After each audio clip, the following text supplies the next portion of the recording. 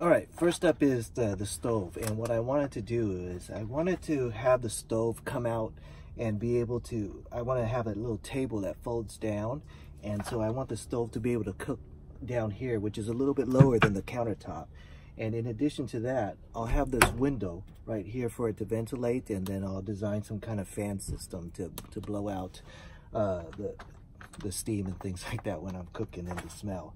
So what I bought for that is this, this table mount uh, from Amazon and you can see from the pictures, it's actually made for the table to fold up.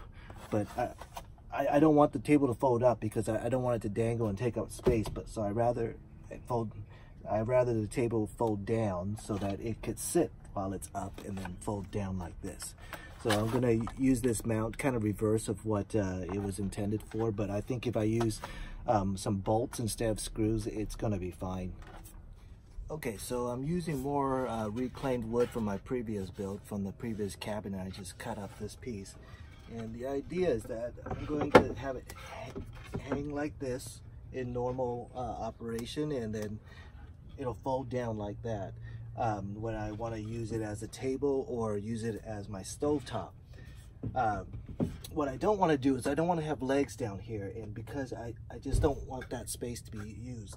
I want to be able to get in and out of that space. So I want to use this that bracket to make it hang.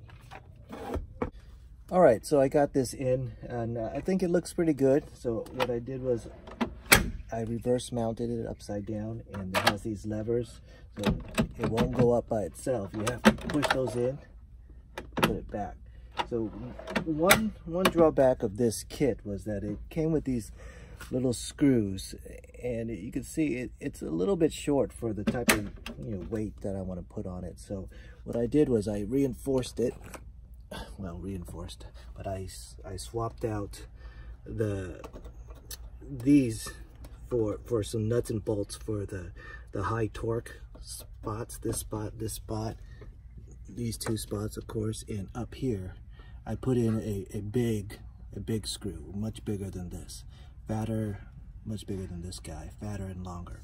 So uh, I think it, it'll be strong enough to hold. For the lesser torque holes I just used the original screws and I think those will be fine Okay, so let's try out the grill. So my plan is to, to, not the grill, the stove. My plan is to keep the stove in here. And it fits nice and neatly in there. So this is just a basic camping stove. It's, it's nothing fancy. It's one of those butane ones. My plan is to put it right there. Oh shoot, it does fit perfectly. I forgot to measure the distance between these two latches, um, but I just got lucky that they do fit. Um, I probably won't push it up against there anyway because you know I don't want to get too close to the wood. I'll probably keep it out here.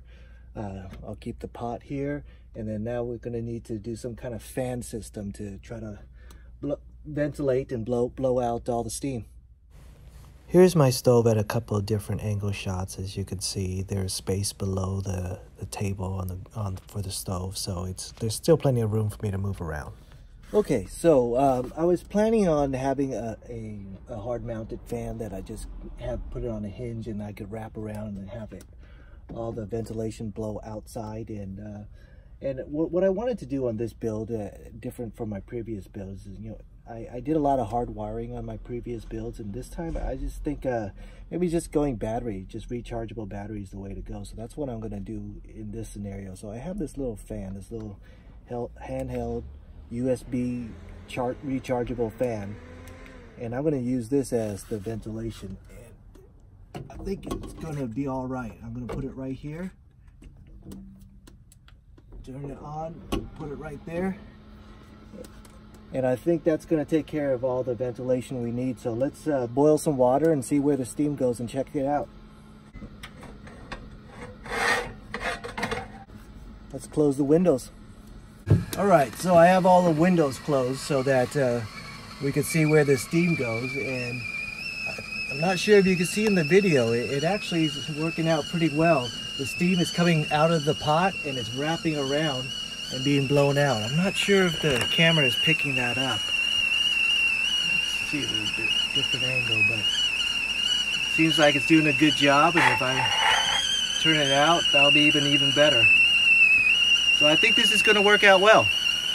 All right, so now that the, the stove is all squared away and I have this nice handy dandy table that comes out, it actually works works well as a little table too when I need a little extra table space.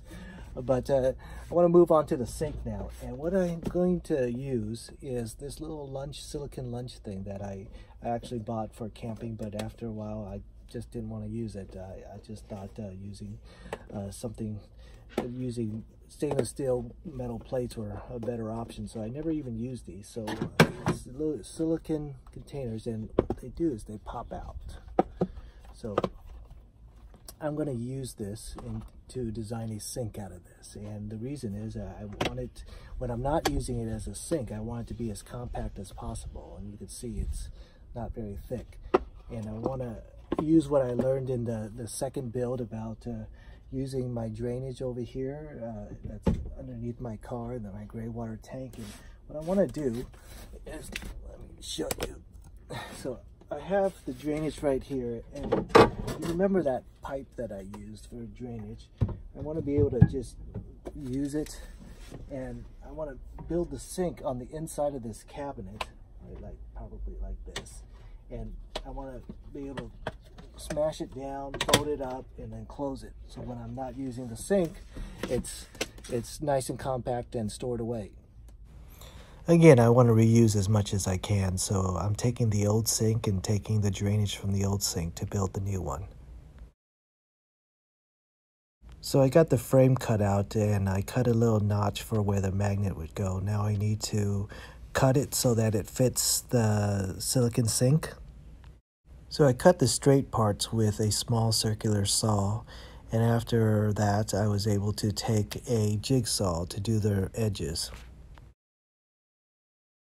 All right, so I got that cut out and let's see if it's a good fit.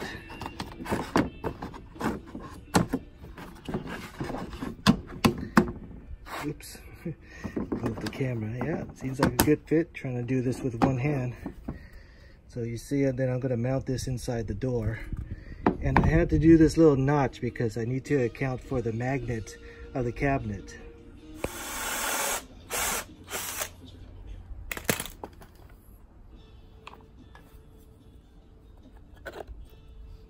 Good. All right, I got the, the drainage in. I think it looks really good.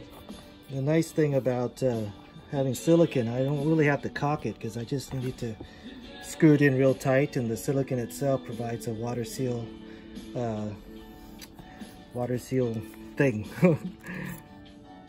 All right, I got it in. Let's show you what it's going to look like. It's going to look like that. I have a little Velcro here to hold it in when, when it's driving and it's in place. Seems to fit pretty nicely. I'll demo to you guys how, to, how it works. Okay, all right, so I'll demo to you guys how this works.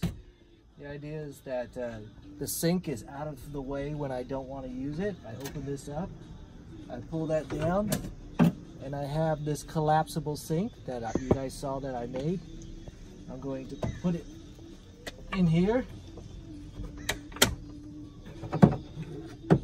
have the drainage pipe. I'll stick it there. And there you have your, my sink. Gonna take a look at it a little bit closer.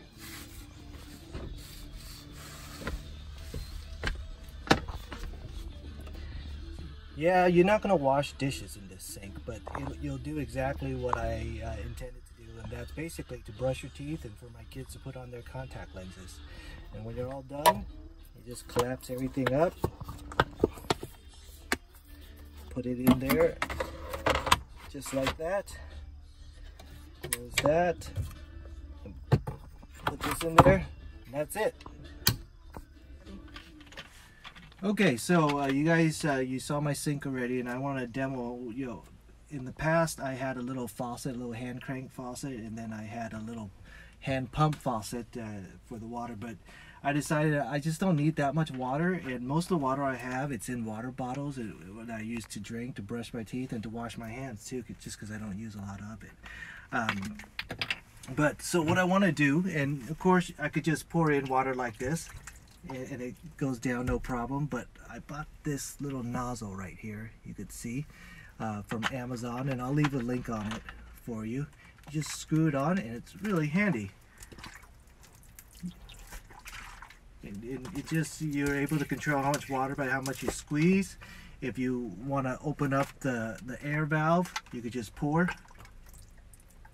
It'll pour better, but it's better to, I, I, find it better just to leave it closed and just squeeze as you go along and if you haven't seen my drainage video yet uh, you could check out the link above and you could see what the drainage looks like the gray water tank but I'll, I'll give you a quick look outside to see what the drainage tank looks like so looking from the outside it goes straight down and we're to go underneath the car and then you're to see there is my gray water tank and again if uh, you haven't seen how I did this you can look at a previous video that I have linked above and to see how I did that.